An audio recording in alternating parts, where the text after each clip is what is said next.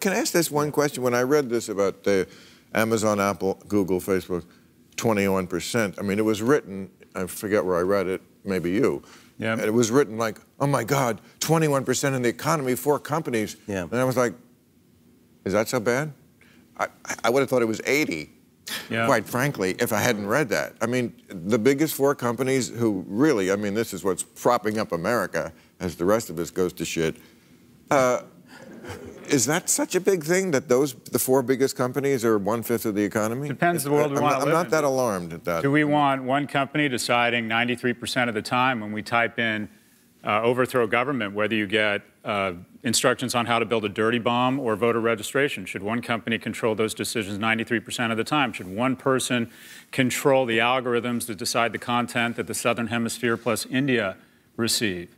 Should one company effectively control 97% of all increase in value of all retail, the third largest and employer in I know you think healthcare is next, right? Don't you think that Walmart and is it Amazon who are going to be battling to? Of course, why wouldn't they want that? Right. They own everything else. Yeah. Where's all the money going? Sick people. 100%. Because Yeah. that's what America does best: make sick people. Well, look, the fastest, the largest business in the world is U.S. healthcare.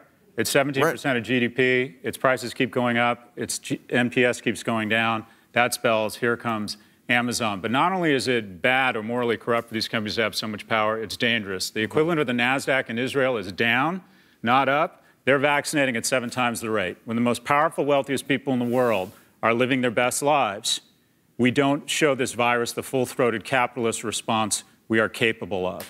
If Amazon stock, if, if, if Amazon stock, if Amazon stock had declined 70% instead of risen 70% in the last 10 months, when a van with a smile shows up in my driveway tomorrow morning, someone with a someone would have jumped out in a lab coat and vaccinated us. We are living our best lives. This virus has not seen what, what the U.S. is capable of because stop, stop, it hurts so good if you're the shareholder class. Look, we're just coming to the realization that Facebook is not going to take care of us when we're older or concerned with the condition of our soul. Teen suicide is skyrocketing because of concierge bulldozer parenting, where we've created this princess princess and the pea syndrome with our youth. But we've also Yes. addicted them.